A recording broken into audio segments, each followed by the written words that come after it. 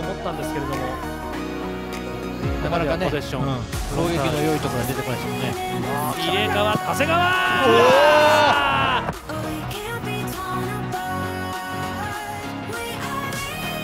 中は締めて外で逃げてもらった家長。カップインからクロスにした。逆サイドエンドラミアンが回っていた。落として長谷川だ